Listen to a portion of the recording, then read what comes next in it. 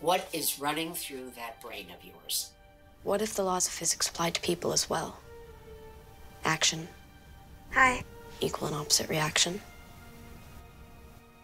I don't think that's what Newton meant.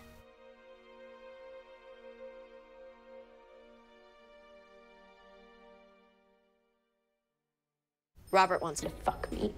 Why did he want that? Did you behave in such a way that might have precipitated his decision? Did your action cause a reaction? Hmm. Yes. It's hard. I'm very good at solving problems. Robert told me you two are good. You have no idea how happy that makes me, Honey Bear. I just, I don't know, we've had so much fun together.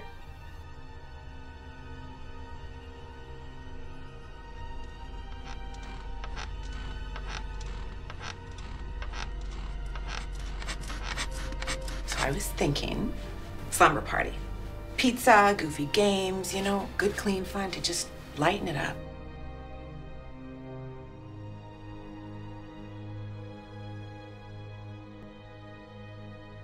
Sometimes something gets in my head and maybe I'll do something I shouldn't have.